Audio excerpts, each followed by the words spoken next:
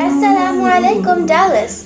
I'm so excited to tell you, Fatima and I will be visiting the East Plano Islamic Center on April 13th and April 14th inshallah. Please come and join us and get inspired.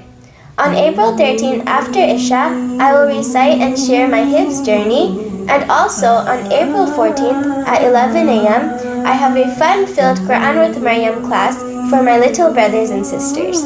Fatima, what do you want to say? Dear little friends, please join me. I have a beautiful message for you. See you soon.